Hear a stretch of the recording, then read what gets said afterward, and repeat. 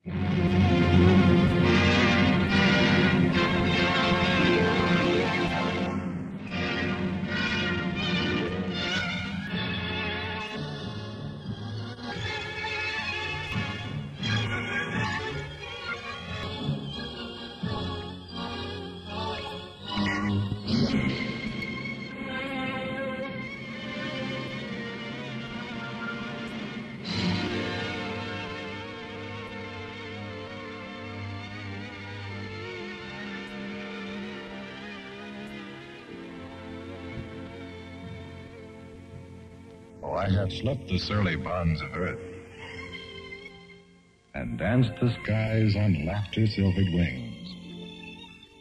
Sunward I've climbed and joined the tumbling mirth of sun split clouds and done a hundred things you have not dreamed of.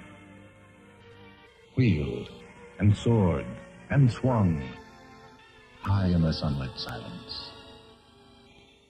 Hovering there, I've chased the shouting wind along and flung my eager craft through footless halls of air.